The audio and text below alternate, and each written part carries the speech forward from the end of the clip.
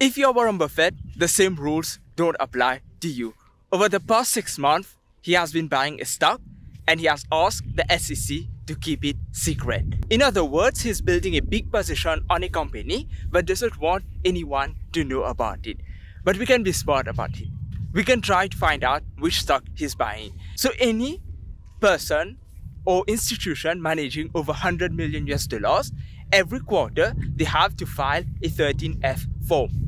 In the 13F form, they are going to inform the public all their trades, investments they are buying, investments they are selling. So Berkshire Hathaway managing assets nearly worth $1 trillion. Of course, every quarter they have to file a 13F.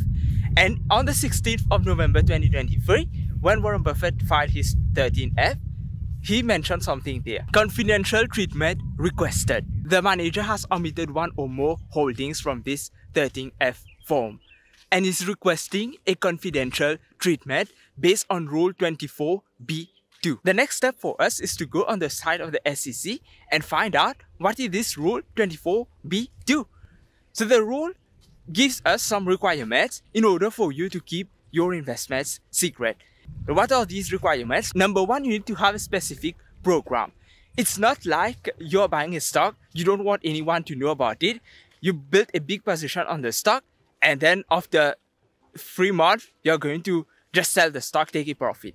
This is not going to work. You need to make the SEC understand why you're buying this particular company. So if let's say you're a long-term value investor like Warren Buffett, he can say he's buying this stock. He has uh, over 150 billion dollars in cash and cash equivalents, so he cannot really make investments right now. And there's this company that is big enough for him to move the needle in his portfolio but he needs this secret because if he buys the company, everyone will know about it. Everyone will buy the stock too and the stock will go up. He won't be able to buy enough of it. Requirement number two is that the program is ongoing. It's not something that he will do just for one quarter. It's something that has to be done. So over the long term. Number three is that the disclosure would reveal the strategy. So if he was buying a stock and he doesn't want us to know that he's buying the stock, of course, if he discloses it, everyone will know he's buying the stock. Why they talk about strategy is not just for Warren Buffett. This rule can apply to anyone. If there is a fund that uh, has another strategy, maybe activism,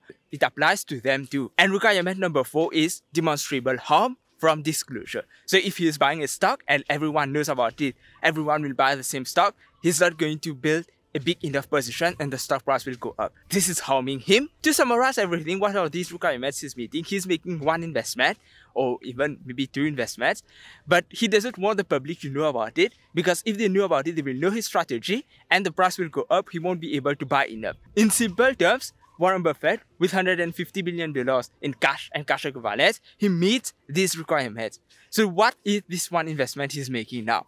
To understand it, we have to look at another form, the 10Q form.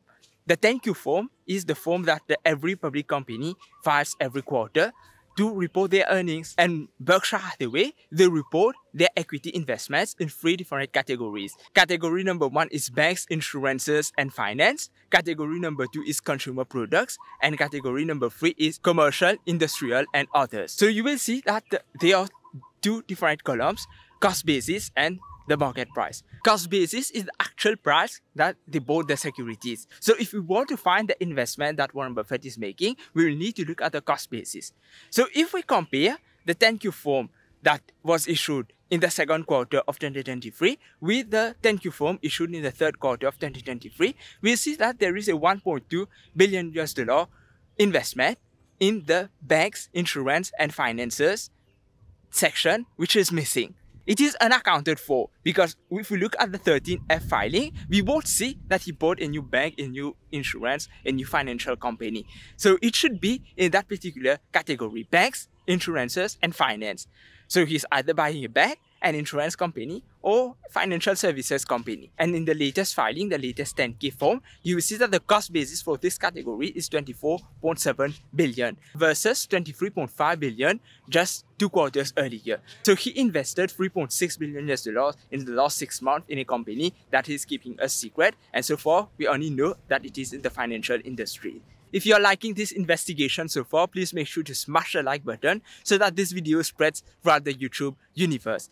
Our next step now is to try to think which is this investment. He's not buying a bank. He's not buying an insurance company. He bought so many banks before. He bought so many insurance companies before. Why hide it? It is possible, yes, but it is unlikely. Why? Ask, let's say, for example, he was buying JP Morgan Chase, which many people are suggesting. Why hide it? There is no need. He bought JPM before. He bought Wells Fargo before. He bought Goldman Sachs before. Some people are saying, okay, Charles Schwab. Why hide it? There is no need to hide the fact that he's buying a bank or an insurance company. He made it before. He made this type of trades before. So it should be something that is different. That if really the market sees him do that, everyone will follow him and the stock price will go up.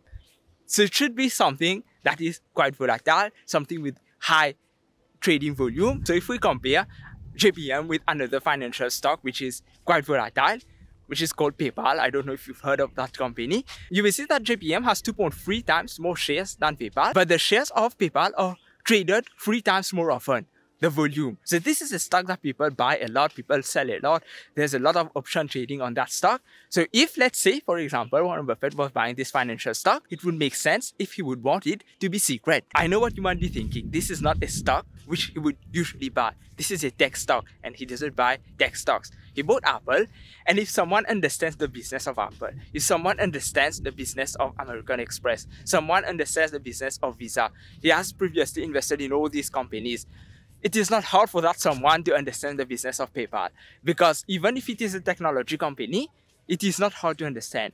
And he likes company that people use. Venmo is very popular in the United States. Maybe his grandchildren ask him to Venmo them money for their birthday, for Christmas or whatever. And uh, he look at the company and he like it. Probably, I don't know.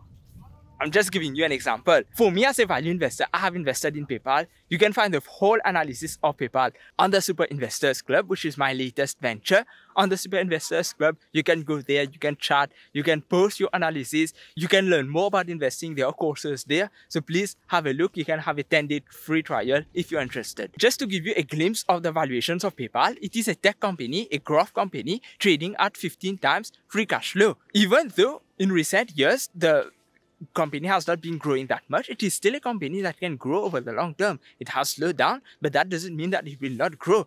25% of all e-commerce go through PayPal. And if you're joining the Super Investors Club, you will see that you're making your payment through PayPal. So for me, PayPal is a bargain today. That's why I'm investing in the company. And Warren Buffett is a value investor. It is a stock that he can also buy. Now this is pure speculation we don't know which stock he's actually buying. And probably I will be wrong about this speculation. So I don't want after six months someone commenting on this video or on another video that was sharing rumors. This is not a, really a rumor even though I saw other people talking about it. It's more about trying to investigate. Even though it doesn't really matter for me, Warren Buffett is investing the company or not. But you try to investigate, you try to understand how the SEC works, how these rules work. This is what's important, and that's the reason why I made this video to do. It's about investigating because as an investor, you're making research, you need to know how to investigate. So I will suggest you watch this video about PayPal. Maybe probably he's buying it. Have a nice day and goodbye.